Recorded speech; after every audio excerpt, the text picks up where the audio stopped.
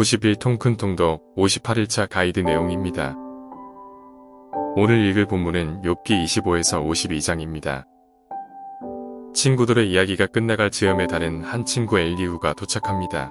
다른 세 친구에 비해 훨씬 어린 그는 욥이 의로운 사람이긴 하지만 자신의 무죄를 입증할 권한은 없다고 주장합니다.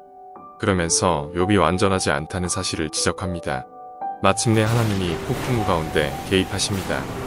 욥에게 무지한 말로 생각을 어둡게 하는 자가 누구냐 너는 대장부처럼 허리를 굽고 내가 내게 묻는 것을 대답할지니라 고 말씀하십니다. 하나님께서는 지으신 우주의 광대함과 장엄함을 질문으로 묘사하십니다.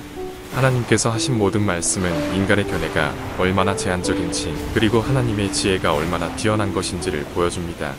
모든 말씀을 마치신 하나님은 욥에게 하나님을 탓하는 자는 대답할지니라 고 하십니다.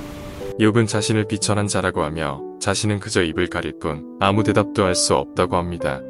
하나님은 그분의 지혜와 능력에 대해 계속 말씀하십니다. 그후 욥은 나는 깨닫지도 못한 일을 말하였고 스스로 알 수도 없고 헤아리기도 어려운 일을 말하였나이다라고 자백합니다. 그리고 그동안 자신이 말했던 모든 것에 대해 겸손하게 회개합니다. 하나님은 맨 나중에 찾아온 네 번째 친구를 제외한 욥의 새 친구를 향해 노하셨습니다. 왜냐하면 그들이 하나님에 대해 잘못 말했기 때문입니다. 하나님에 대해 옳게 말한 욥을 변호해 주셨고 새 친구에게는 회개하고 번제를 드리라고 명하셨습니다. 욥은 그 친구들을 위해 기도했고 하나님은 그 기도를 받아주셨습니다. 하나님은 자기 중심성을 내려놓고 하나님의 절대 주권을 인정한 욥을 다시 회복시켜 주십니다. 말씀이 삶이 되는 하루를 위한 적용입니다. 우리는 하나님께서 하시는 일에 대해 다 알 수가 없는 제한적인 존재입니다.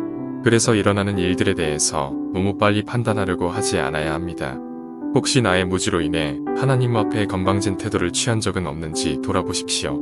뿐만 아니라 오늘 하루 영적 성숙을 위해 전능하신 하나님의 선하심을 믿고 순종해야 합니다. 오늘 선하신 하나님 앞에 서신이고 해야 할 것이 무엇이 있습니까?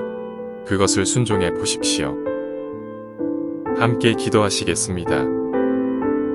삶의 모든 주권이 하나님께 있음을 잊지 않게 하옵소서. 항상 하나님께 모든 것을 전적으로 맡기며 의지하게 하옵소서.